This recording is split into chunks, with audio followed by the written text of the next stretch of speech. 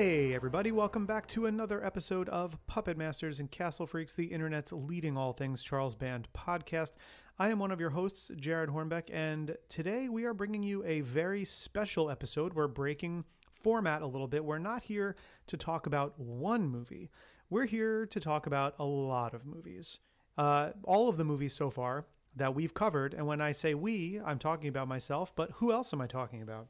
Well, hi, it's Steve Guntley coming here from Austin, Texas. Uh, yes, we recently commemorated the 50th movie that we've watched on our show. You know, we've doubled up on a couple of episodes, so I don't think we've quite hit 50 episodes yet, but we have hit Soon. the 50 movie mark. Uh, and we felt like the rankings on our show have kind of come and go. We're aware of it. We have been maintaining our lists on our own, but as the, list gets longer, it becomes more and more of a chore to like fit it into an episode when we have a guest, and like we don't want to uh, be holding them there because you know we're we're uh, spreadsheet nerds, you know. So we have to. Uh, uh, I, I wanted to dedicate a little bit of time here to catch up on our lists, uh, to figure out where our rankings are, and see kind of where we stand as we hit this 50 movie milestone. Um, so for me, I, I, I figured we could just kind of go back and forth, right? We start from the bottom of our list and work our way up.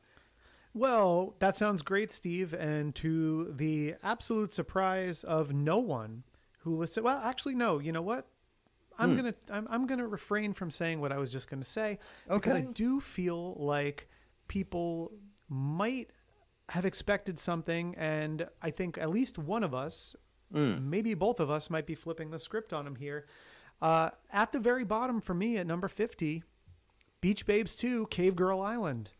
Finally, usurping Evil Bong, which I think was uh, holding strong at the very, very bottom of our list for a long time. But I am right there with you. Uh, my new bottom movie, Beach Babes 2 Cave Girl Island. Truly an unpleasant uh, experience to kind of sit through. Really tacky and uh, poorly shot and annoying and just kind of gross. Uh, not a fun movie. No, and uh, you know the movie has a purpose. Its purpose is not to be discussed on a podcast. Yeah, yeah, but I would argue it fails at its other purpose. You know, like it, there's nothing sadder than like a, a- an erotic slash titillating movie that is neither erotic nor titillates. Um, it- it's just kind of an inert lump. So bad movie, bottom of the list, and I think of no surprise we uh, it's just narrowly edging out. We kind of already mentioned it. Just above that is Evil Bong for both of us. Yes. Evil Bong is slotting in at number 49 for both of us. Uh, again, to the surprise of no one who listens to it. Now, I just want to borrow a phrase from the We Hate Movies podcast.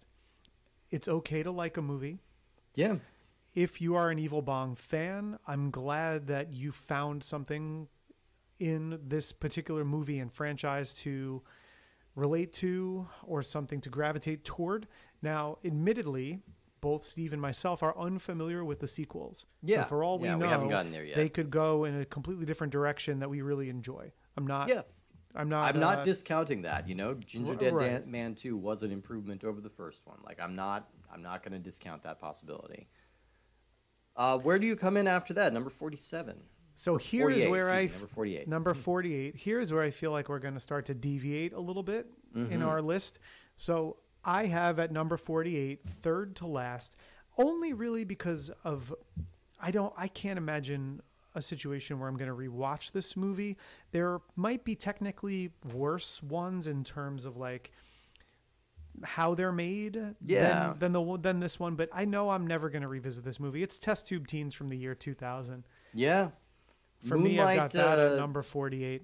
Moonlight has not had the strongest showing. Uh, you know, and I think that that trend might continue a little bit. But like you said, Do you this mean is do you mean Torchlight? Oh, excuse me, Torchlight. Yeah, Torchlight. Moonbeam is a different thing, but yeah, Torchlight. Um, yeah, this is where we deviate a little bit because my number 48 is going to be Witch House, David DeCoteau's movie uh, that I found just one of the hardest, like, 80 minute movies to sit through of any of the ones we've covered. Just a really kind of indifferent, uh, dull thriller. Yeah. So that was number 48 for you, Steve? Yeah. Mhm. We're we're pretty closely linked here because that was number 47 for me. Yeah. Number 47 was Witch House, just narrowly beating out Test Tube Teens from the year 2000. Like it was a photo finish for for third to last, and I went with test tube teens. Uh, I don't know that I necessarily envision a scenario where I rewatch Witch House, the first Witch House again either. No, Um, you know, Ricky we will, get you back on a better episode. Ah, poor Ricky. Ricky again. We're sorry. We're sorry that we brought you on for that one. Um, I I am un, under the impression that the sequels are better, and Yeah. we will be covering the sequels sooner than later. And so I am looking forward to continuing the series more so than I'm looking forward to continuing the Evil Bong series. But um, I will say that the first Witch House pretty bland, pretty boring, pretty forgettable, and I'm sad about the my next one. But before I do that, tell me your number 47. My number 47, again, we're starting, we're, we're deviating a little bit more. My number 47 is Demonic Toys 2. Uh, another movie that I just found very dull, uh, very hard to look at. I think it's a poorly shot movie, and even the presence of Leslie Jordan uh, was not enough to elevate the movie for me. So, yeah, Demonic Toys 2, I think I came down a little harder on that one than you did, but not by much. No, but the reason I mentioned that I'm sad is because I had such a nostalgic connection at an impressionable time to my number 46 movie, Beach Babes from Beyond. Mm-hmm. uh, that to, to to put it so low on the list and to be like, oh, there's not a lot of redeeming qualities here, but dis- despite all of the celebrity siblings and despite Linnea Quigley being in it and despite it being just the hallmark of the USA Up All Night Skinamax type movie Yeah. that I look back on so fondly, there's not a whole lot there. So number 46 for me is Beach Babes from Beyond. I'm in a similar vein with my number 46. It's uh, Test Tube Teens from the year 2000. We've covered that already a little bit. Um, so I will lob it back to you for your number 45. Uh, so we've been we've strayed, but not as far as I would have anticipated to this point because my number forty-five is Demonic Toys two, Yep. and I feel like you said what you what needed to be said about that movie. I don't know that I can add anything on to it. I know we just recently did a guest spot on. Uh, movie dumpster and they even brought up in passing about how they came on our show to watch that movie and how it stuck with them i was going to say for better or worse but really just for worse Yeah, pretty much for worse. Yeah, yeah. Um, I will uh, go with my number 45, Beach Babes from Beyond. Yeah, which you've already spoken about. I think the the slight saving grace for that movie is that it has a little bit more of a uh, positive vibe to it. Like it doesn't feel Sure. quite as creepy, and it's it's got kind of like a, uh, a beach blanket bingo sort of enthusiasm to it, but it's still uh, pretty boring overall. Yeah, I would agree with you. And so those ones, uh, Demonic Toys 2, Beach Babes, Witch House, Test Tube, Evil Bong, uh, Beach Babes 2, those are my those are my bottom 6 of my list here bringing me up to number 44. Now I struggled a little bit with where to put this one, but I had to really think about rewatchability. Uh, What what are they? What's really getting put up on screen? And I had to ignore the fact, like, is it a well-known franchise? Ginger Dead Man, the Yeah. first Ginger Dead Man. I'm popping it down there at uh, number 44. Yeah, 44, Okay. yeah. And we'll have more to say on that uh, shortly, I believe. But uh, number 44 for me, maybe a bit of a surprise for some people because this is a. Uh, I think this is a movie with more of a fan base and more better, a little better regard than any of the other films we've talked about. But Sorority Babes and the Slimeball Bowl-O-Rama Too did low. not really move the needle for me. Too Um, low. Yeah, yeah, I know. See, I know. I'm I, gonna I, echo I our I was fan gonna get a base. You don't. You can put your phones down. You don't have to angrily uh, tweet or DM Steve. I'm telling him also it's too low on your list. You know, I, it still feels right to me. I, I, I think it's just kind of a boring movie, uh, and it, it feels pretty different. It does. It's not even like quite campy enough to be fun. But that's on me. That's me. I am going to disagree with you. I'm not saying that it's you know in my top ten or twenty even, Hmm. but I, I do have it higher up on the list. So my number forty three is one. I'm going to say the name of the movie, and listeners might be like, I don't remember you covering that movie. Because we covered it on another show, and we have a little rule on our show where if we talk about a movie on a different podcast. We're not going to double dip because we bring a lot of our historical context and research with us onto that show, and it would just be a lot of repetition.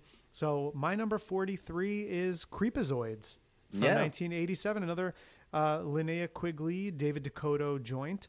Uh, we covered this movie on Neon Brainiacs. So jump onto uh, Neon Brainiacs. Main feed for their podcast and scroll back a couple months and you will find our episode.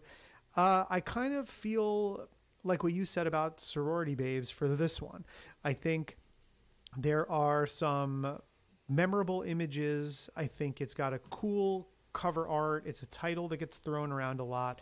But I think when push comes to shove, it's kind of a boring movie and it's just one of those ultra cheap one set wonders that doesn't really Yeah. transcend in my opinion and you know so we've had our first real deviation here what are what did you slot in for number 43 Number 43 for me is Killjoy. Um, Not to be a Killjoy, but I found this movie to be like I- there. There are things I liked about it. Uh, there's kind of a, a vibe about it that I enjoy, and a couple of good performances. But it's a movie that kind of needs to settle down and simplify a little bit. They've just got kind of too much shit going on, and it makes it Sure. hard to engage with it in any way. yeah i'm not entirely disagreeing with that it's not this far down on my list but it's again it's towards the, the bottom half of the movies for sure and i apologize in advance to everyone's childhood Mm-hmm. because from my number 42 prehysteria Yeah. Moonbeam's uh, inaugural movie, Prehysteria. Not because it's bad, and I think I feel like I need to get that out in the open. It's not that I think Prehysteria is a bad movie. I think it's perfectly acceptable children's entertainment.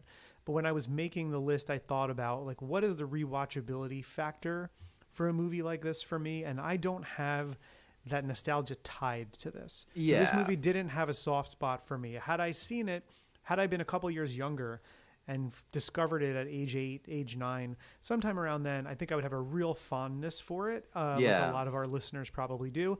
So it's not because I think it's a bad movie. It's just I can't imagine a scenario where I'm going to revisit it.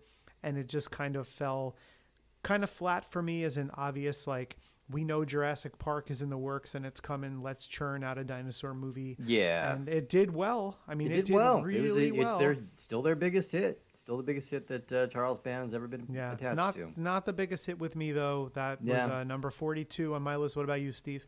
My number 42, a lot of what you said uh, about Prehysteria could apply to my number 42, which was Albert Pyun's Arcade. Uh, a real bummer uh, of a. I was looking forward to this one as a video game nerd, as somebody who like really was looking for that early 90s arcade feel to be captured. I feel like this movie just didn't capture any of it. And its troubled production means it's just sort of a nothing movie. You know, we're waiting for you know, it, it's just all waiting to get to the fireworks factory, and then when you get there, it's pretty shitty looking and boring. So that was arcade. We had fun talking to Jordan Morris on that one, though, so I did enjoy that. Uh, Yeah, what's your that number episode, forty-one? uh, was a lot of fun to record. So my number forty-one is is one that I I can't say I disliked per se, um, but I do think the sort of disjointed nature of it and the, the the shitty way in which a lot of the CGI and it looks really lowered it for me. It's Piranha Women.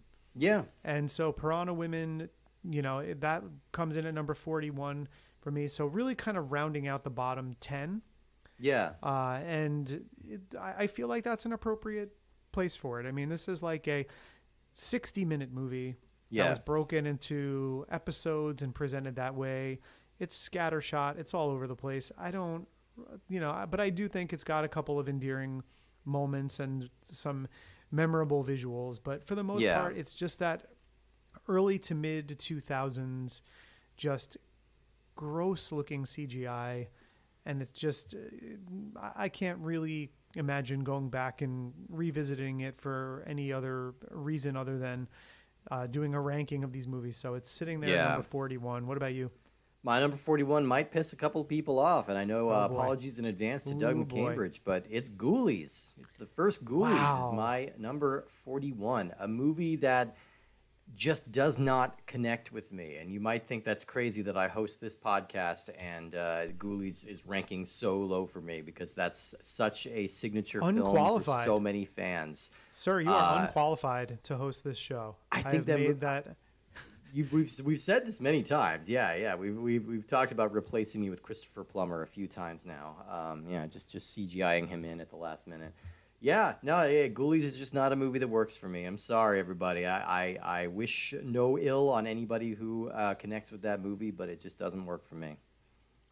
Similarly to Steve, um, my number 40 didn't really work for me either, and it's arcade. Yep. Albert Pyun's arcade. So really, like only uh, mine came in only about two spaces higher than Steve's. So I was not outraged by his choice. And again, Jordan Morris, uh, super fun guest on that movie. And the thing about Ghoulie is we had an amazing time recording that episode. Kevin Lane was an Yeah. amazing guest. Ghoulies Yeah, one and yeah. two. Uh, I think we'll find Ghoulies two. Uh, you know, slightly different positions on our list, but Yeah.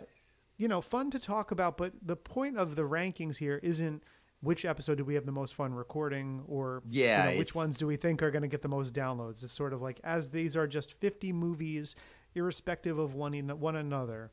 yeah. Where do where do they rank? And so to me, uh, yeah, I think you, I think you can you can definitely say that the first Ghoulies movie, it's really. It, I, I feel like it's lower tier. I mean, It's Doug, scattershot. Doug, It's so Doug is angry. Doug's Yeah, angry. he's we apologize, Sorry, Doug. Doug. Uh, I'm gonna go with my number 40, which is uh, Ginger Dead Man, which you already kind of covered. A fascinating story behind that movie. It sounds like Gary Busey is really memorably insane, but he does not bring much of that energy to the movie, which I think really needed a little extra boost. Which I think we both agree it did find to a certain degree later. Uh, how about your uh, 39? So my 39 is Killjoy. Again, Yeah. a movie we talked in that episode. Stevie Webb was the ghost, uh, the guest on, not the ghost. He's alive He- and well. he- he was the guest on that episode, and uh, again, such a fun episode to to record. Uh, more fun was had talking about that movie than watching it. Yeah. I think uh, Angel Vargas portrayed um, Killjoy in an interesting way. I thought they framed some shots and revealed the character in ways that were kind of fun. But there's just stuff that just prevents it from me from being totally successful. I mean, it has the CGI bullet spray, one of the w- worst effects I've ever seen in my life. And compared to another, I'm doing air quotes here, urban horror movie that will that is higher up on our list for sure. I Yeah. can say that without even looking at it. Yeah. Uh, it just kind of falls flat in terms of performances and stuff. But you know, Absolutely. made made by people of color for people of color. Uh, I think it's admirable in that way. It's just less successful than some of the other alchemy stuff that we'll we'll get to a little bit further along on our list. But that's my uh, that's my number thirty nine, Killjoy. Steve, what about you? Mine is Piranha Women, which you Okay, talked so about still a little some bit. overlap. Yeah, a little bit of overlap. Uh, you know, if if a movie with uh, uh, teeth titties is not enough to move the needle for me, then you know it's it's not really working. I think I had more fun with that movie than I expected, but it also did fall Right. Mm-hmm. pretty low in the rankings. All right, now now you're number 38. I can see the list here, and I think I might need to uh, defend myself a little bit here. I think I, I was I was getting thrown under the bus a minute ago, but what's your No, I was 38? I was feigning outrage. Uh, my number thirty eight is Ghoulies. Also, uh, it's pretty low on my list. I don't think Yeah. it's it's you, you, and I think the reason why is there's a lot there is a lot to like here. The Oh, yeah.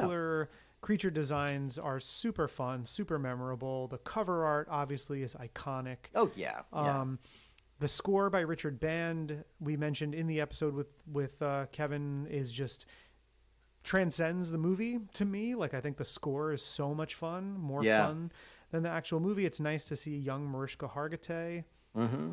in there, and like it's there are things about it that are quirky and weird and memorable enough, but I just feel like. It, it it falls flat in delivering what I want from the Ghoulies themselves Yeah.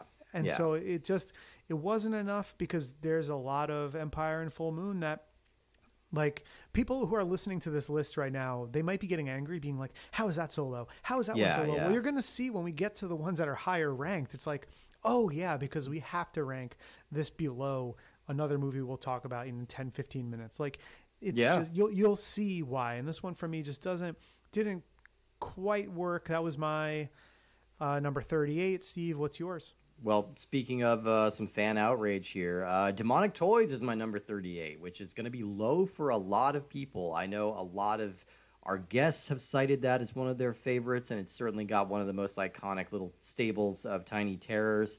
But uh, I think outside of a few gonzo, uh, weirdo moments in that movie, I found it very unpleasant, and I just deeply hate Baby Oopsie. Uh, I do not like spending time with that character, and uh, it, it takes up way too much real estate. Uh, I've got bad news for you for the summer, then, my friend. I know, I know. What's your 37? My 37 is Sorority Babes in the Slime Ball Bowl-O-Rama. Not too too much higher than you. I think you yeah, had yours like at five 44. slots. Yeah, it's like four yeah, slots. I, I I think there's a lot to like about this movie. I will revisit it. I'm sure at some point. Spider, Linnea Quigley's Spider is so much fun. Yeah. But I I think this movie kind of overstays its welcome a little bit. And J.R. Rawls was our guest in that movie, and we mined a lot of info uh, for that one. And just the imp itself just leaves a little bit to be desired for me. And there's there's a hobgoblins esque Willy Wonka esque quality to it, which I don't think is fully realized. I like the I like the um, abandoned bowling alley setting. I Yeah. think it's super cool.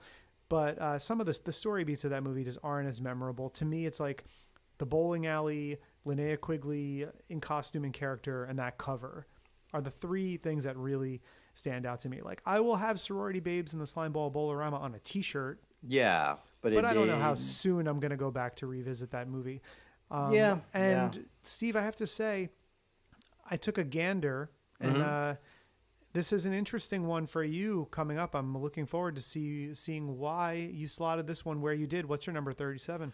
My number 37 is Netherworld, uh, a movie uh, that we, I think we, we praised a lot of its aesthetic choices. I think it's got a cool setting and a kind of a cool vibe to it, but the plot just sort of slid right off my brain. Like nothing about this movie really stuck, you know, like the, this should have been weirder. It should have been darker and stranger. And it's got a great effect with that killer hand, but uh, it really does not connect for me.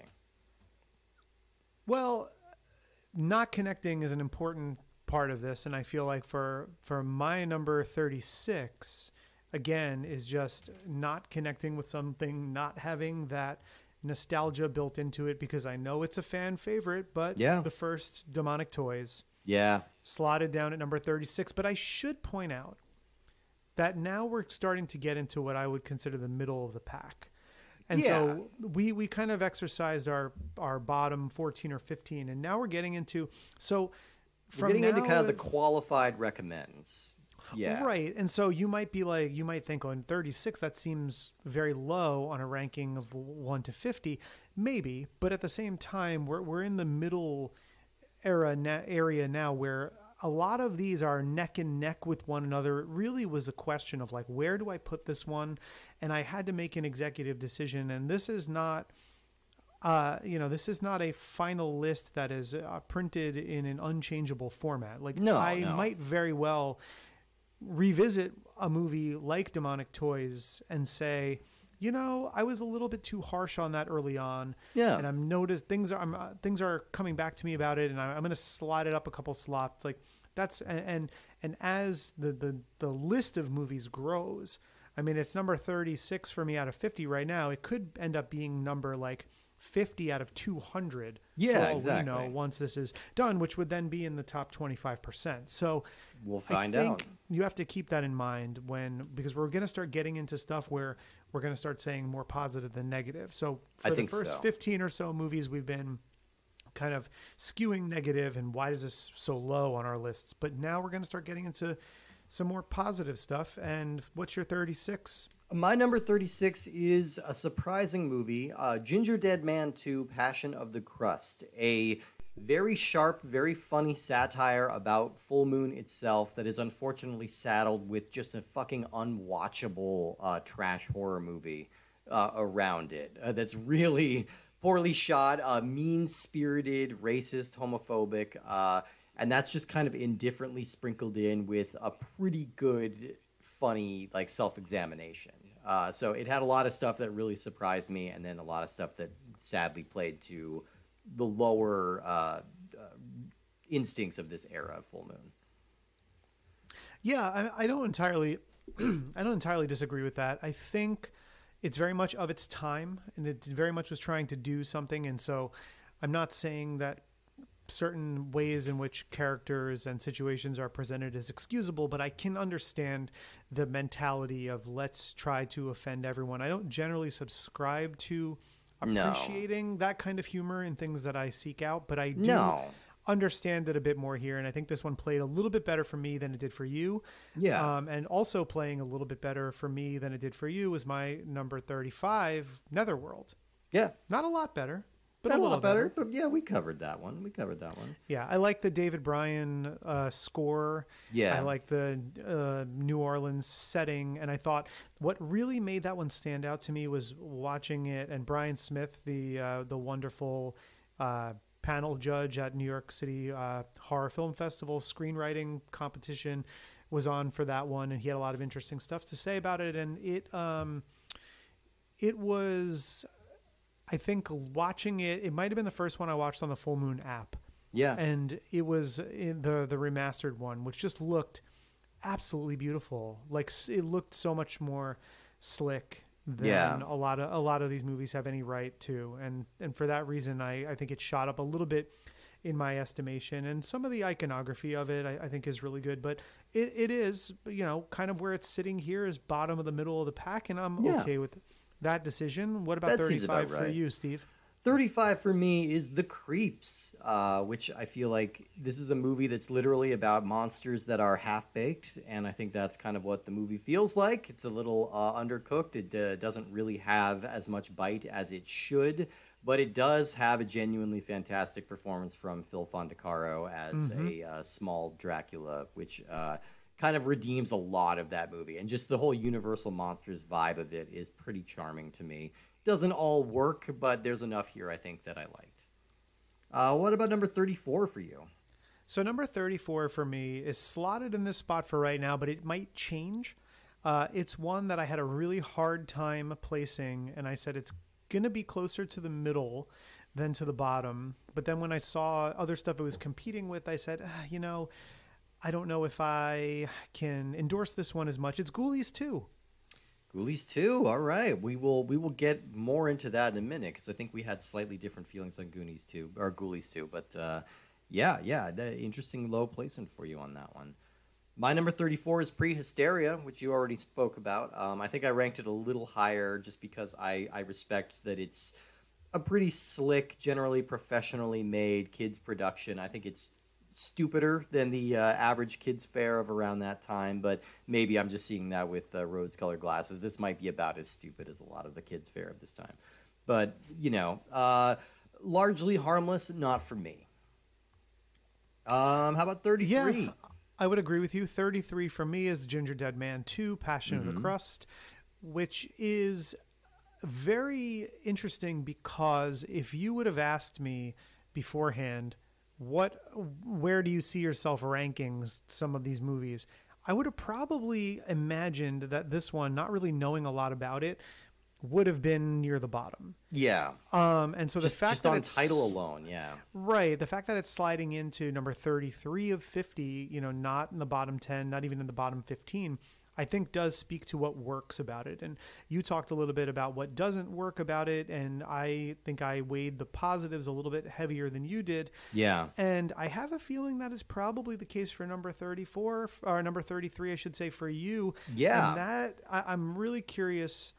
Uh, what you put here and and why because I feel like again this we're going to start to see a bigger deviation. Yeah, this is where I put uh, Meridian, uh, Kiss of the Beast, a movie that is really beautifully staged, beautifully shot. I know it's a movie that Charles Band is proud of. Uh, you know, I think he he was really going for something here. He's trying for a gothic romance, which is not mm-hmm. a genre that Full Moon tackles.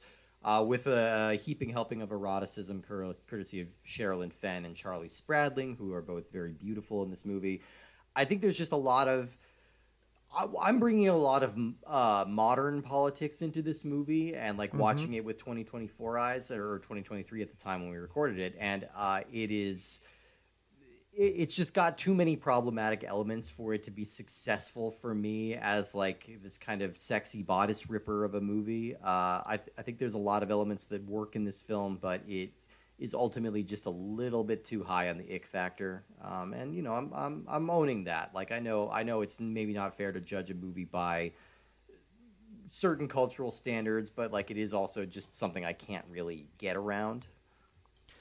Yeah, I mean, I, I, I did a little more.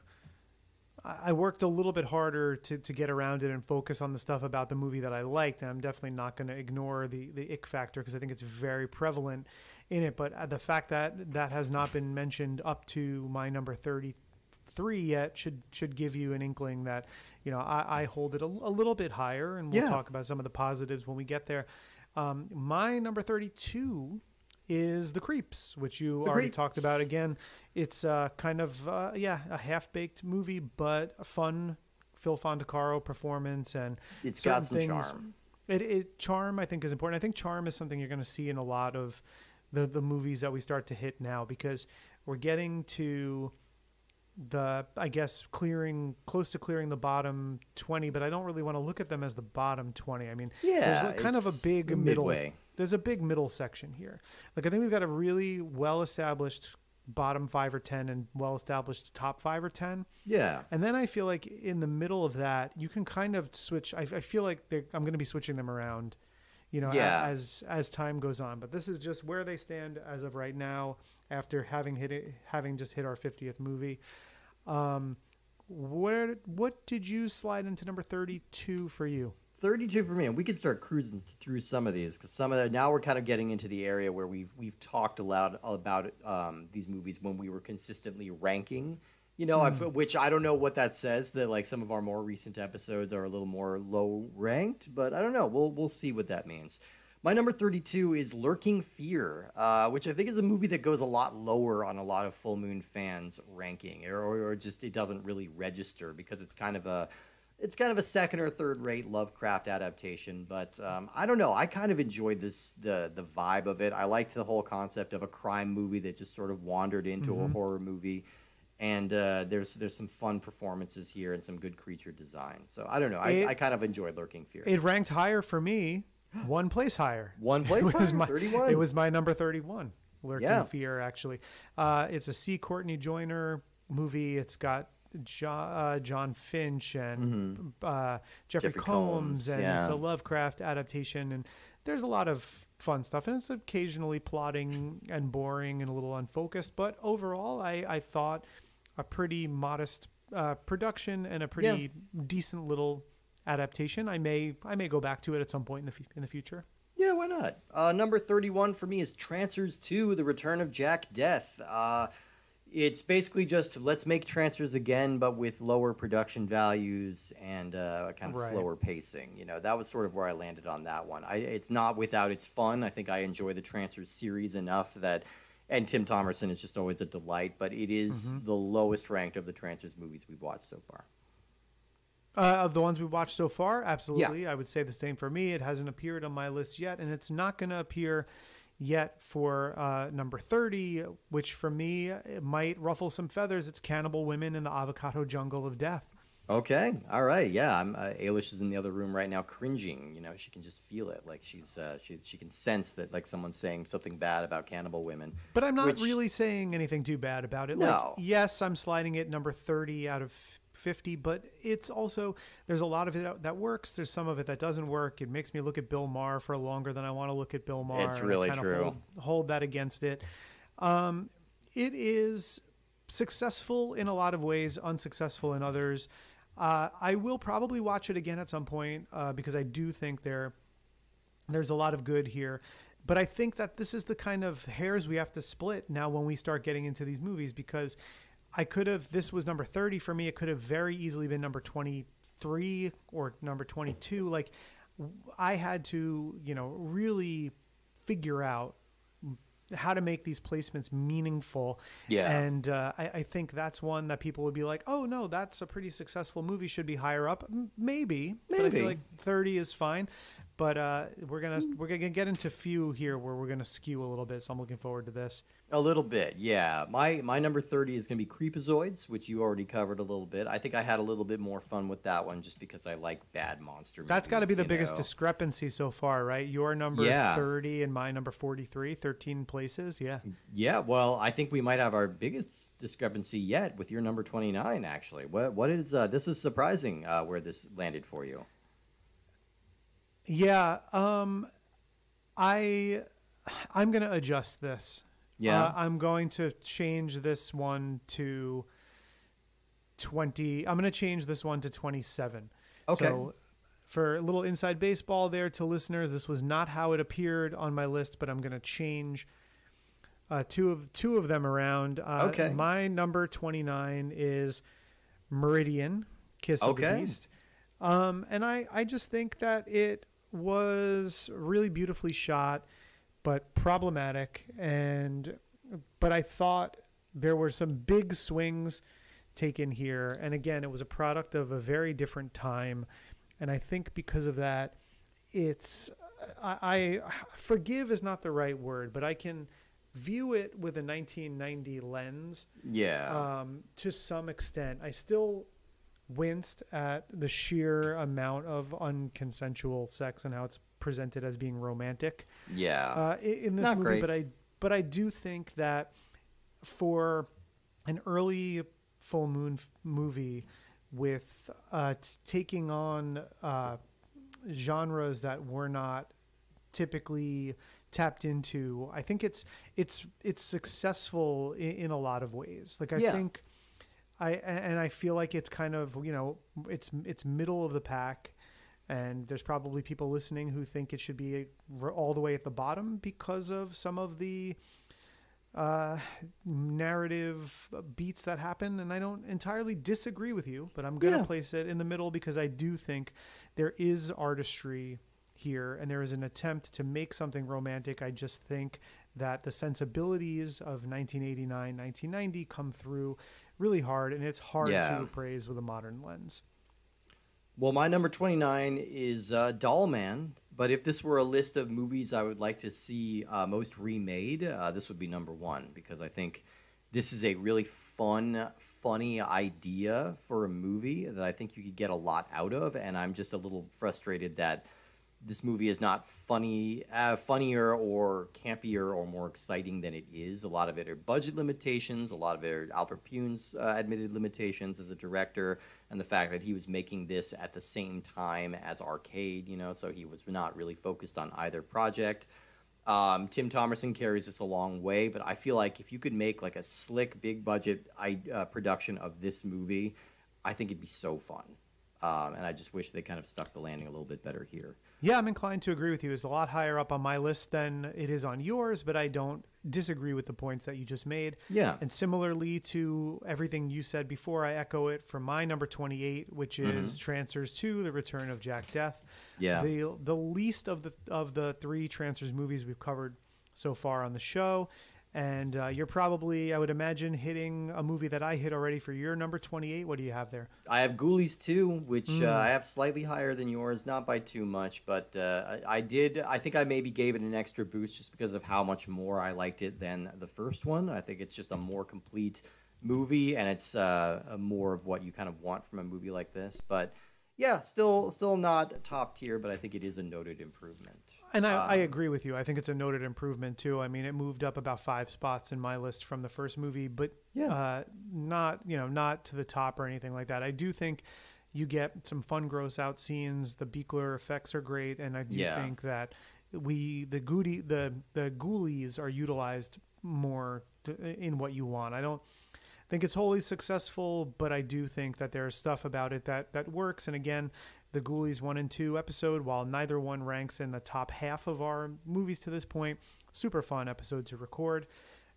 That brings us to number twenty-seven, which Yeah, all right. Yeah, I have to do. I have some splaining to do. All right, let's do it. Number twenty-seven. I have the first Puppet Master as number twenty-seven. on my list. Surprisingly low. Surprisingly low, I have to say. Yeah, and it's not because I think it's a bad movie. I think it has the misfortune of being followed by two sequels we covered that I really think very highly of, and so it automatically got pushed down in the list in my estimation. Like I feel like if I'm gonna watch a Puppet Master movie, I, I might go back and put the first one on first, but but really my my allegiances lie with the first two sequels, and we'll be Yeah. covering four and five sometime in the near future also. Um, and so it kind of forced it below because I can scratch my Puppet Master itch elsewhere. Yeah. Um, I don't think it's a bad movie. I think it's actually a, a, a pretty decent movie. Yeah. Um, but it, but if I'm going Puppet Master, we'll we'll get to later on what I'm choosing and, and why. Be, and uh, I also caught a glimpse, Steve, and I got to say we're at a disagreement here for your number 27 too. And I'm I was cracking my knuckles in anticipation for you to explain why I in was God's name at this. is so low. Yeah, I was a little surprised too that there was such a disparity because I have Doctor Mordred at number twenty-seven. You know, I'm a I think I'm I'm a big Marvel Comics fan. I'm a big Doctor Strange fan, and I really appreciate what they were going for. Uh, and I love Jeffrey Combs as well. I, I just feel like this movie, while it's so cool to give Jeffrey Combs like a leading role in a superhero movie, like who the fuck else is gonna do that? That's so cool. I don't feel like he gets to embrace the uh, weird singularity that is the Jeffrey Combs performance. I think he has to tamp down a lot of his weird, raw, natural charisma, and I think the movie just do- sort of doesn't know where to go.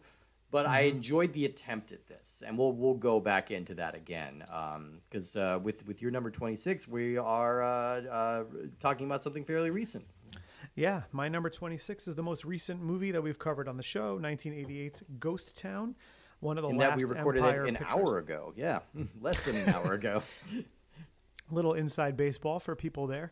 Yeah. Um, uh, and we said on that show that I think Brad, our guest, Brad Hansen, said uh, nicely shot, no plot. Yeah, Which good way to put it. I, I think is a really good, a really smart way to put it because there's not a lot of narrative beats in that movie to really go over, but the No. aesthetic is super cool. The the genre bending of a, a horror movie, uh, ghost movie with a western, fun, memorable artwork. Uh, I'll probably watch it again at some point, see if I can't Yeah. mine a little bit more out of the plot than I got through my first watch uh, when we were uh, for in uh, anticipation of recording the episode. But that's my number 26. And what's yours? My number 26 is The Priest Pisser. Oh, I'm sorry. That's uh, Rawhead Rex. I'm sorry, I got my alliterative titles mixed up. But Rawhead Rex, uh, based on the Clive Barker story, featuring a big, goofy looking troll that uh, probably should have had a little bit less screen time. I'm rarely going to say that about a monster movie, you know, but this is a design that probably would have been better kept in some shadows rather than uh, a nice, sunny, bucolic Irish countryside. Uh, still a lot of fun stuff in there, and uh, I think it's a pretty well paced, like well shot movie overall. But that that creature design hurts the movie a bit. Uh, I, how I agree. your- I, would- I agree Yeah. with you, even though it's higher up on the list. Now, I just want to say one thing. So I'm Yeah. getting to my number 25 here.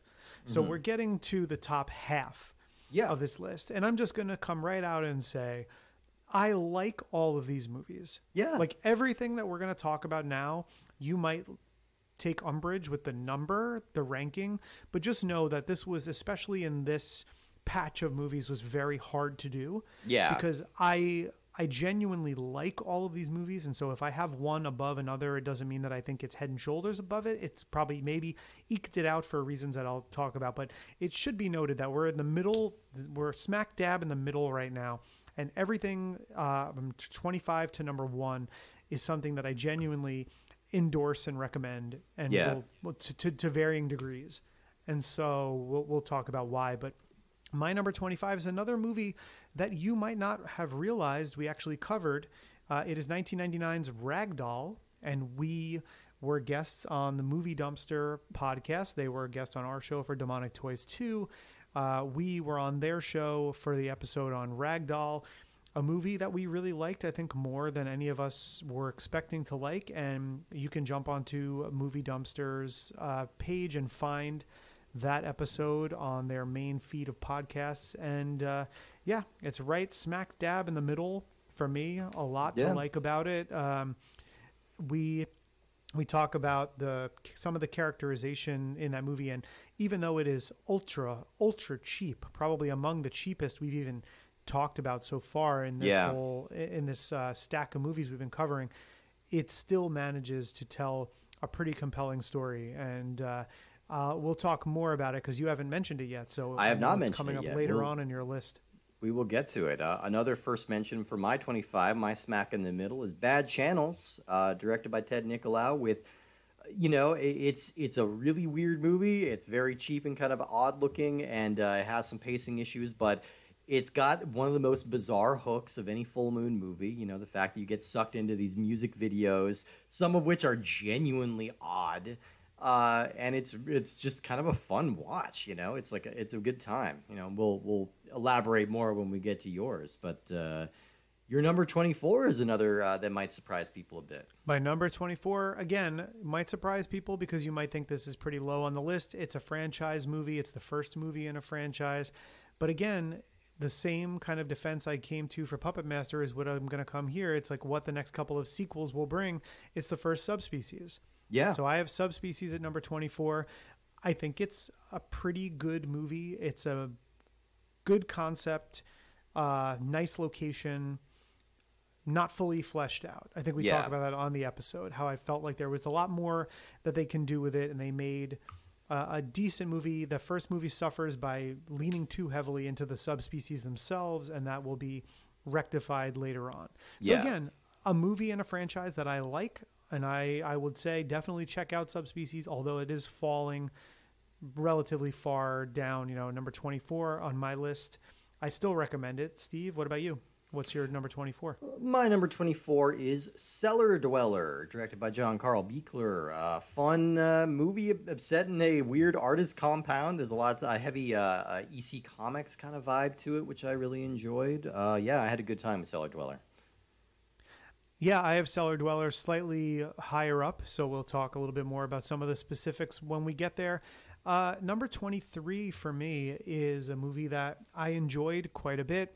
We had an amazing time talking to the star of that movie and getting a whole bunch of insight into what went into getting the movie made. It's an anthology movie, so it showcased a bunch of people's particular work and style. It's The Dungeon Master from Absolutely. 1984, the uh, I believe the very first of the True Empire productions, and uh, Jeffrey Byron was amazing on that episode. So much fun recording that one. And again, it might be number 23 on my list, but it's a movie I would tell people that they definitely should check out, especially if you want to see the early footprint of some of the Yeah. people who've come to be major players in, in Empire and Full Moon and beyond. That one's the Rosetta Stone. There's just so many different full moon people came from the Dungeon Master.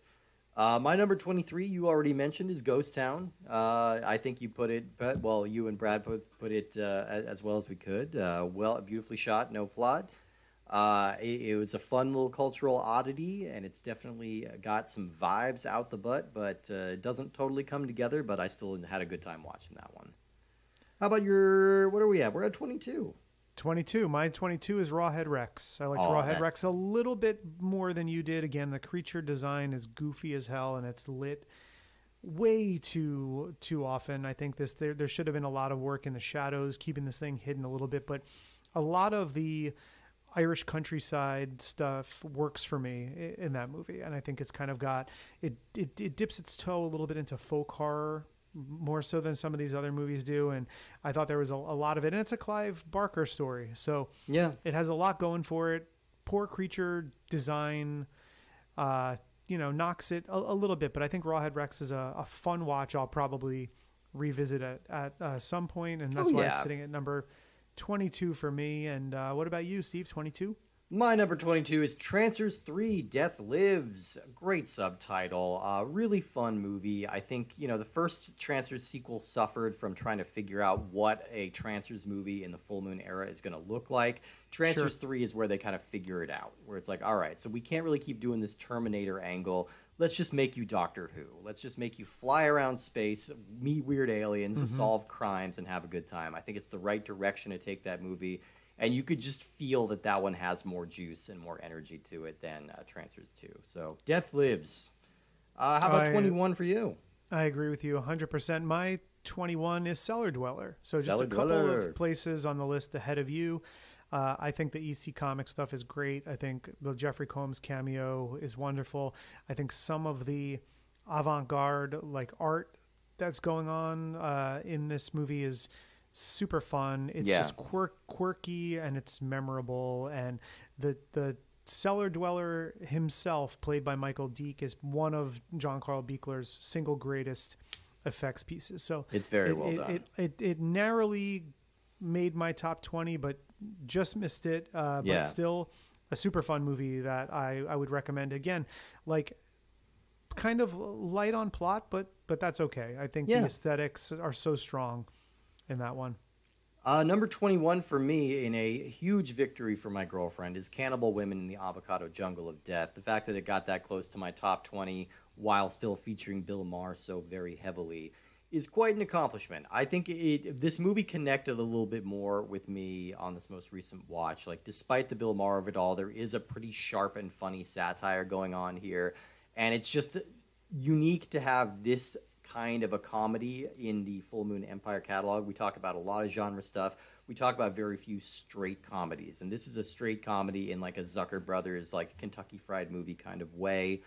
Uh, and I had a I had a decent time with it. You know, I had I had some fun with it. How about your uh, the comedy works. The comedy works in a lot of places. It, re- it really does. does. I do It think it's a pretty. It's a pretty funny movie at, It's at times. it's a it's a Comedy Central staple for a reason. I. Yeah, Oh, it sure was.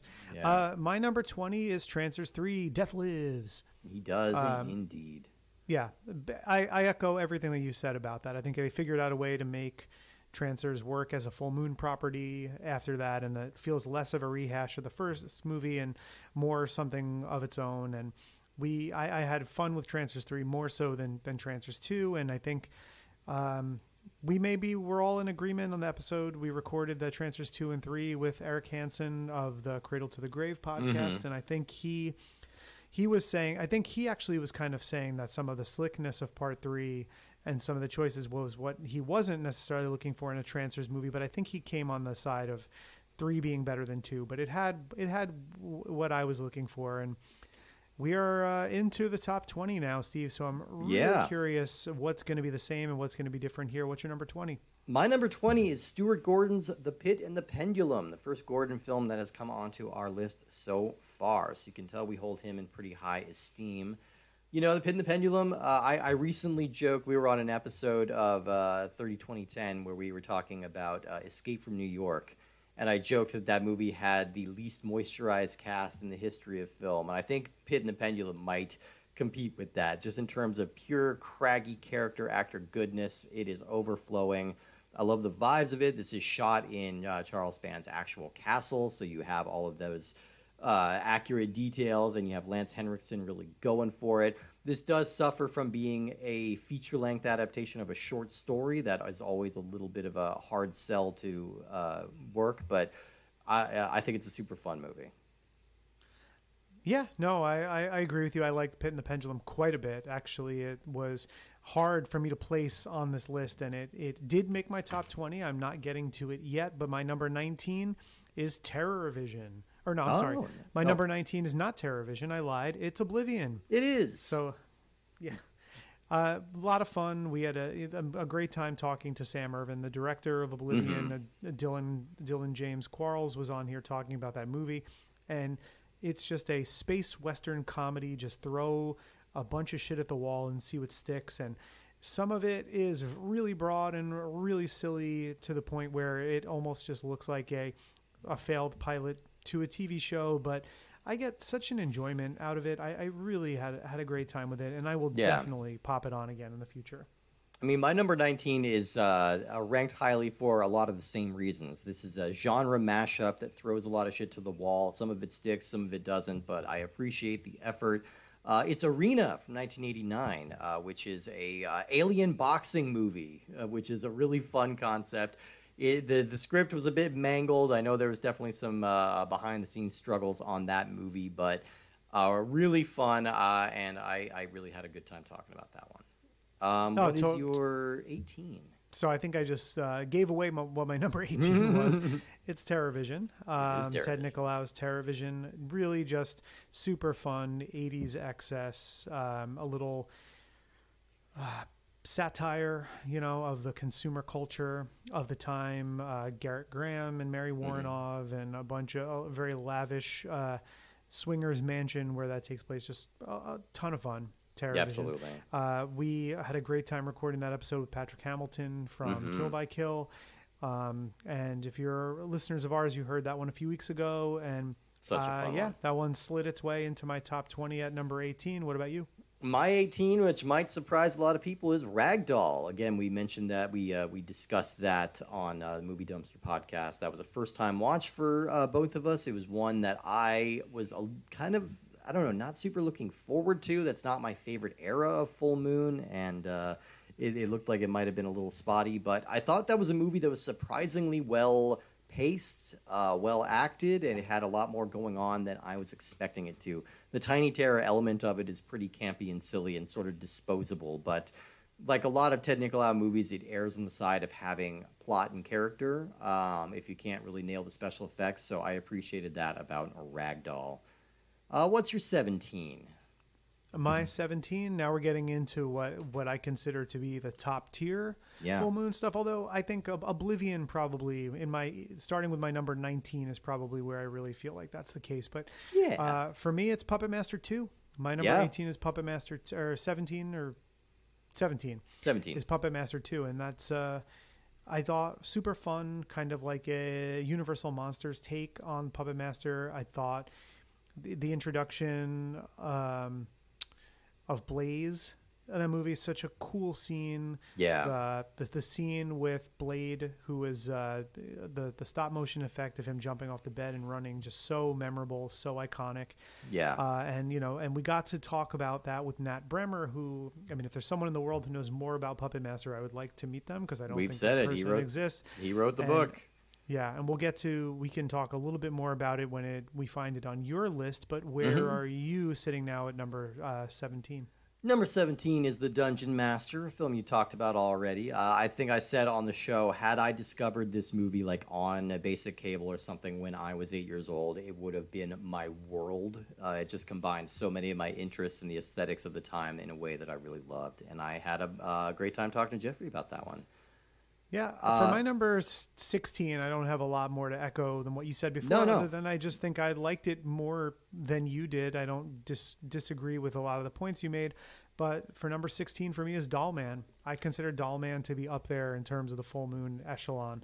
And so you, One of our the things- biggest some of the things yeah. that you pointed out about, uh, I wouldn't necessarily say that they aren't true, but I just like this movie a lot more than you do, I think. Yeah, no, it's fair. Uh, my number 16 is the original subspecies, uh, which you had a few slots lower. You know, I think we've we've discussed that in, detail both uh, on the episode about this and uh, on our interviews with uh, Denise Duff and Kevin Spirtas and with uh, um, uh, with Ted Nicolau, the director. You know, I think all of them kind of agree that the movie, this series, didn't really super find its footing until the next entry. But Subspecies has a lot to recommend. Uh, and how about Well, your number fifteen? Brings Or us the to the top. The 15. No, fifteen. Yeah, it is. brings 15. us to the Sorry. top 15 uh, for me it's pit and the pendulum Yeah. ranked it uh, uh, a bit higher than you did i think you had it at number 20 Yeah. um, five spaces or so really liked it really really thought it was good it was a pretty ambitious period piece for a low budget company like full moon For sure. lots of craggly actors some great oliver reed lance henriksen obviously is Yeah. amazing but uh, yeah that's uh, pit and the pendulum for me my number 15 what about you Well, on my list, the Puppet Master series makes its debut. Number 15 is the original Puppet Master, a movie with uh, a lot of nice production value, and it kind of set the tempo for a lot of full moon movies. I do think it's a little slow, and I think the series would find its footing a little bit as it went on. But uh, number, I think there's still a lot to recommend in that movie, and it just kind of kicked off everything. Um, all right, now we're getting into your your number fourteen, which uh, uh, one of our wildest discoveries. Yeah, so number 14 is Shrunken Heads. And even though you might say 14, wow, like you, there's really 13 Empire and Full Moon movies that you guys did that you're rating above that. Yes, however, Shrunken Heads is amazing. And Yeah. you should definitely weird. watch it. Uh, we were lucky enough to have Grady Hendrix join us on that episode. Just a fantastic discussion uh, of just a wild, batshit movie. Uh, if you're listening to us for the first time now and you're hearing us rank these movies, but you never actually watched Shrunken Heads or listened to our episode on Shrunken Heads, like please do that immediately, and we'll Please. we'll talk about a couple of the plot beats when we get there. Whenever this makes its uh, appearance in Steve's list, which is, seems is a little higher up. Little higher. 14. What is your 14? my my 14 keeping them together is puppet master 2 which i think Hmm. Has a lot of the same problems as the first movie but i like that it uh, upped the ante a little bit it has a little bit of a swifter pace and it has genuinely the best special effects maybe of any um, full moon movie just that that scene alone that dave allen stop motion is undeniably fantastic and uh, really impressive that they pulled it off uh, so, So now let's my- go your 13 lucky 13 My lucky 13 is Dr. Mordred. Yeah So much higher up on the list than it was for you. I thought I like that. was I, a I like the place. fun. I like the place where it averages out. You know, if we add mine and yours, I think maybe you know that's that. that I, I'm comfortable with that average. That's fair, and I kind Yeah. of feel like uh, you know we it is very it's lavish and it's lush and it looks really good and it's you know plot wise it's a little underbaked and we talked in the episode with uh, Cecil Trachenburg from Good Bad Flicks about how there were proposed sequels to that movie that all sounded super cool and it's kind of a bummer that we didn't get the extended universe of, of Dr. Mordred but I do like that that movie as a standalone movie. What's your 13, Steve? My 13, uh, you already mentioned it. It's Oblivion. Uh, you know, I love a good genre mashup. I love something that uh, that that movie is also intentionally funny in a way that I don't think it's been given credit for. I think people assumed it was just sort of accidentally funny. That movie is expressly a comedy, and I think it's a fairly successful one in its, all of its cheese and all of its ambitions and weirdness. I, Uh, I we would, are- I'm inclined to agree with you. In my number 12, another big discrepancy. I think another Yeah. 13 point or so deviation for us. Bad channels. Yeah. Technical, it was bad channels. Uh, Becky Dark was on our episode, and she was amazing. And I just thought there's so much weirdness. And I, I think Ted Nicolau has such a reverence for shooting music and shooting bands. And it's just such an odd premise for a movie and, and utilizing the radio station not unlike the way it utilized the satellite in TerrorVision. Um, but I think there was just so much to like here. It's just Yeah. i- i- it is like you mentioned it, uh, uh, an HD version of this doesn't exist probably for the better. Yeah, yeah, yeah, probably. My number 12 is TerrorVision, which we already discussed a little bit. I think just a, a, weird and woolly satire with a lot of gross monster designs and some funny, campy performances. I think, uh, yeah, we, we, we had a great discussion with Patrick and with Ted about that. So we are, uh, what are we at? We're at number 11 now, and we are aligned. We, we've, we found an exact, we are, we are exactly lined up on our number 11. Probably not, maybe not the last time that this is going to happen. Yeah. But uh, number 11 for both of us, I believe, is Intruder, 1989's Intruder, which was an Empire distribution, very end of Empire, right around the time that the company was crumbling. But super fun grocery store sla- set slasher movie with, um, you know, just the footprints of a bunch of people that would go on to be, you know, s- make such an indelible mark on the 1990s. You got your Raimis in there, Scott Spiegel, Lawrence Bender, Roger Avary, all those people. Um, yeah, and we, you know, we did our episode on that with Mike Munzer recently, which you guys probably all heard, and had a lot of generally nice things to say about it. And I feel like that, you know, it just it just missed the top 10 for both of us. What made the top 10? Yeah. Oh, well, let's let's kick it off for you. Your your number ten uh, coming in. Uh, yeah. Uh, what what what do you what did you land on with that one? So my number 10 is Stuart Gordon's Robot Jox. Mm-hmm. And, you know, Robot Jox, our episode was so much fun with John Tarani, bringing so much knowledge of, of that movie to the forefront for us. Uh, but I think it is a, you know, a fighting robot movie done about as well as a fighting robot movie can be done. And it's, Yeah. uh, it, it made my top 10. Like, re- really here, for the top 10 of these 50 are, are movies that now we're moving into territory where I'm like, not only are these movies I kind of like and endorse, but it's like these are movies I recommend to people. These are movies I watch frequently. These are movies that I will always go to bat for as being, you know, uh, uh, not just at the top of a list of Empire and Full Moon, but of stuff that I genuinely really, really love. And I, Yeah. I genuinely do love Robot Jox. And was was Robot Jox your number 10 too, Steve? It was not, but my it's it, it's in there. I'll let you know. It is in my top ten. My number ten is uh, Psychos in Love, a true cult film, like in the in the purest sense of the word. This is a cult film uh, that is so much more ambitious and inventive and knowing and smart and funny than you would expect from a movie like this. It's definitely one of our weirdest and uh, dare I say, artiest movies that we've covered on this show in its own uh, unambitious, unpretentious way. Or not unambitious, complete- unpretentious. Yeah. I'm in complete agree with agreement with you so much so that it's my number nine movie. There it is, number nine, Psychos in Love. Yeah, a, a real, a movie that was not on my radar and would not Mm-hmm. have been had we not done this show. And I'm so glad I sought it out and saw it. Right. Thanks to Matt Desiderio for bringing it to our attention because now it's made it into the pantheon of movies that I will gladly introduce to other people and, and pop on from time to time. I don't know if I even told you, but uh, a friend of mine listened to that episode, and then he and his husband went and had a date night where they watched uh, Psychos in Love, and they loved Love it. it. Like, I mean, how great is that? Like that that people are seeking that out as a date movie. Love it. Uh, my number nine is Tourist Trap, a truly bizarre, fun, weird slasher film that's uh, one of the earlier movies that we've covered on this list, and uh, really striking, like genuinely pretty scary in a couple points, despite not being like an explicit or super gory movie. But uh, th- there's some solid chills. Uh, I and agree it's with a- you Yeah. so much so that it is higher up on my list. It is Yeah. not my number nine. It's not even my number eight. My number eight is another surprise movie, one that I knew very little about, was apprehensive going in, completely enamored with, and I don't think you know you probably are going to disagree with me at all. No. Blood Dolls. Blood Dolls, yeah, uh, uh, truly.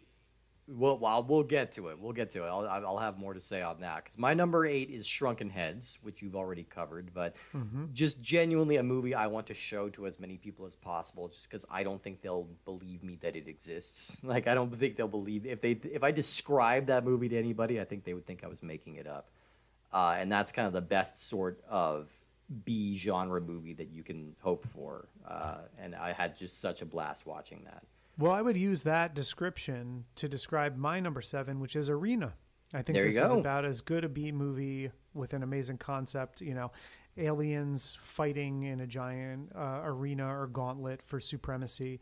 I think it's handled uh, in such a fantastic way. Fun character actors, great design, screaming Mad George effects, and Peter Manoogian's Arena. That was my Yeah.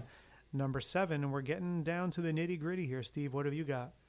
Well, my number seven is going to be a little movie called Castle Freak. Uh, definitely the hardest, gnarliest uh, horror movie, like in the purest sense that we have talked about on this show. A movie that I think has scarred people, you know, for some of the imagery that is in this film. But it's really effective. It's really well shot, well acted, and uh, uh, it's you know I we're always a fan of uh, H.P. Lovecraft stories being taken away from H.P. Lovecraft, and this is an exact perfect example of what that does, and it kind of closes out the amazing trilogy of Barbara Crampton, Jeffrey Combs, Stuart Gordon co-productions, and uh, naturally we spoke to Stuart Wellington on that episode. Uh, Stuart's a great dude, and he really enhanced that experience, I think, for me too. Yeah, and that experience didn't need a whole lot of enhancing for me because I have Castle Freak at my number six. Yeah. So very, very close there. And yeah, everything that you just said about it, I think I fully uh, echo everything there. Great bookend to the, the that trilogy of Lovecraft movies with Barbara Crampton and Jeffrey Combs. Just so much fun. We're Uh, getting it. We're, oh, we're well, you, we're, you we're getting number into six here, and then we're here. getting to the Number six, a movie I'm surprised I have lower than you because I feel like I really vibed with this movie. It's Trancers. It's the original Trancers, one of the first episodes that we did of the show. Uh, and this movie was just a real discovery for me. I think it's it's so fun. It, it doesn't overstay its welcome. It's got kind of like a Terminator light vibe. It's got a genuine charm to it. and I, I just I enjoyed the hell out of Trancers. I'll, I'll I'll happily watch that again. Oh yeah, and we are now in our top five. Here we are, and We've so my number five is one that you've spoken about already, Tourist Trap. Yeah. I genuinely really like Tourist Trap. Chuck Connors is so memorable Mm-hmm. in it, and I just think it's creepy. The Pino Donaggio score is great. It's so uh, good. Danny Torkel, our guest, was a really fun guest, and we just I felt like had uh, a really good time talking about that movie. And I think I've I've watched it even again since we've recorded the episode.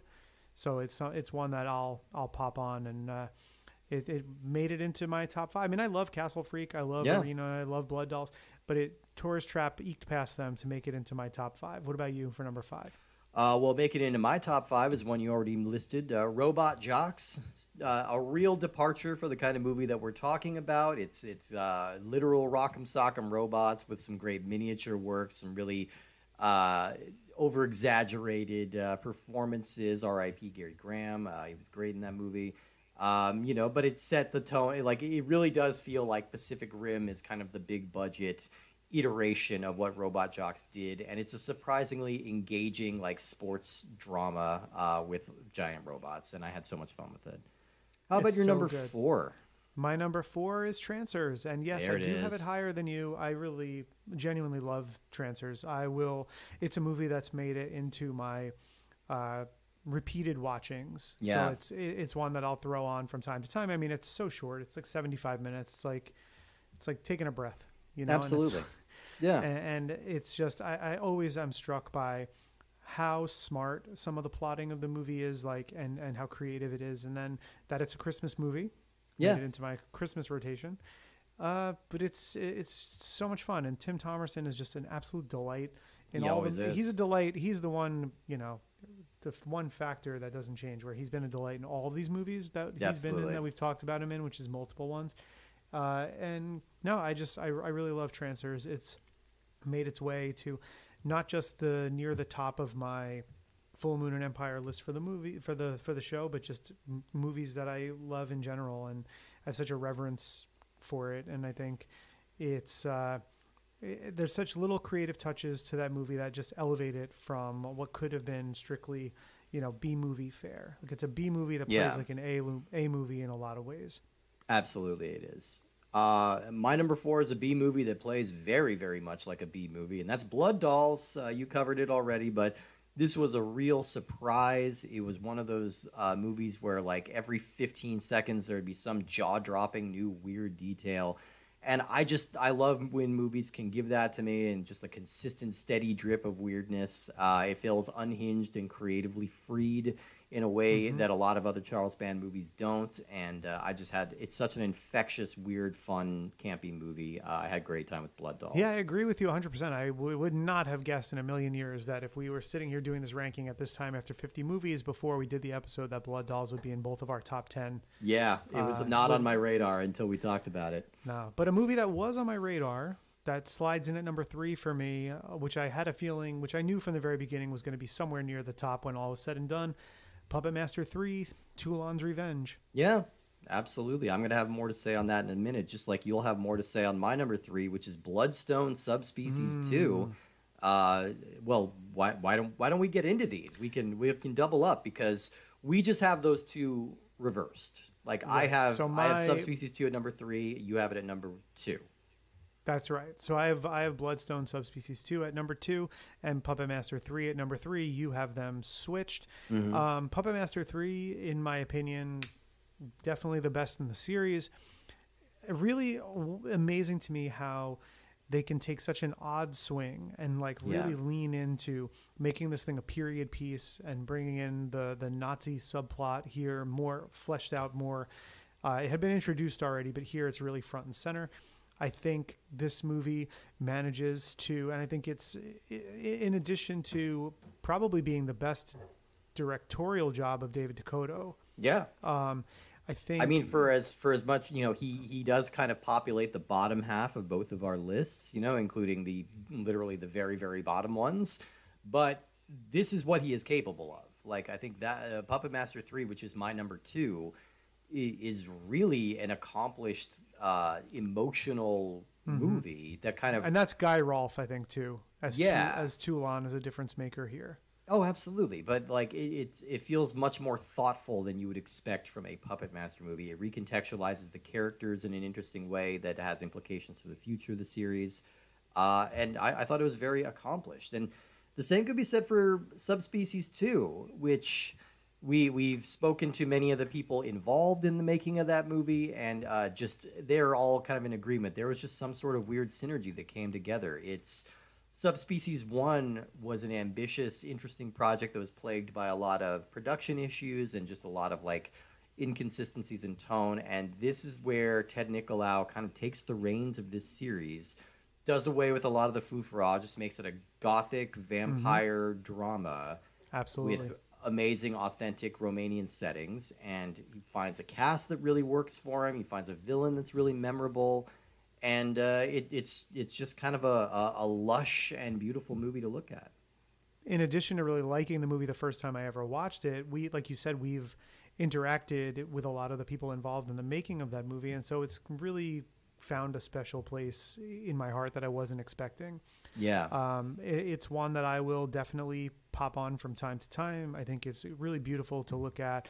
A lot of really fun shadow play, and again, Ted Nicolau just being at the helm uh, of something, taking it in a direction that was going to make it a more focused story. I mean, we didn't do an episode on Subspecies Three uh, yet, but it is a continuation of the story, and whether or not it is as successful as two as a standalone will be discussed then. But I didn't really expect this sequel to this series to become something so near and dear to me, but it really has. And so even outside of the world of Full Moon and the world of Empire, it's become a movie that I genuinely just really love, and I have so so much respect and love for the people involved in the making of it, and I will always, you know, bring it up in conversation of a super underrated, uh, underseen, underserviced movie that is about as good as a B movie can be, and with that, we find ourselves at our our shared number one. And probably almost- not almost really an- a surprise. Yeah, kind of anticlimactic in a lot of ways. Because what else was it going to be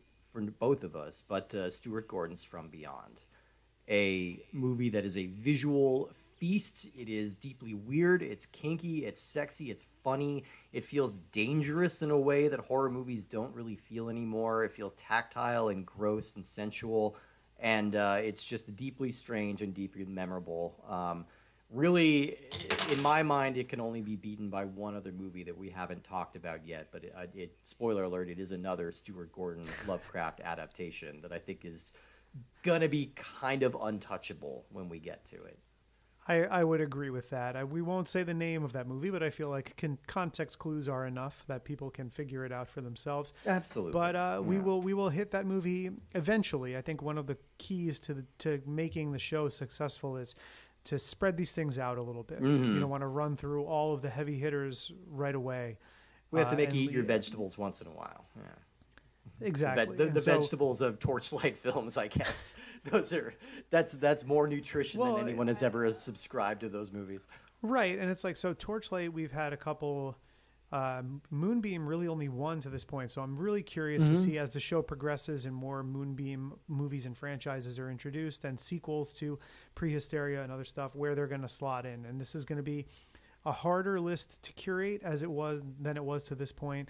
But I look forward to the challenge, and this was really fun, Steve. Kind of looking at where you've ranked these 50 movies, listeners. I hope that you enjoyed hearing you know how we rank them and again if a movie you really loved ranked number 38 or 40 out of 50 for us it doesn't mean that we we didn't enjoy it it doesn't mean that we Oh no, take take it personally. Take it personally, listeners. It is a specific slight on you. You know who I'm no, talking about. please please don't but anyway thank you so much listeners. We wanted to come with you a little bonus episode here and give you our rankings for these 50 movies.